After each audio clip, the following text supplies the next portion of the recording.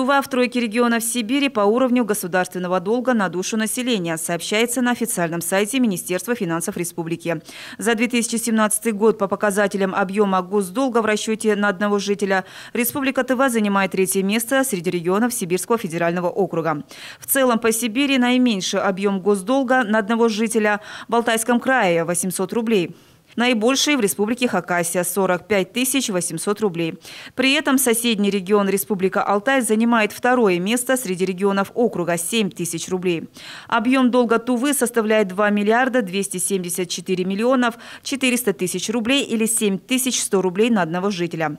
В конце года объем госдолга республики снизился на 424 миллиона и 100 тысяч рублей, в том числе за счет погашения бюджетных кредитов перед федеральным бюджетом и уменьшения привлекательности привлекаемых кредитов от коммерческих банков.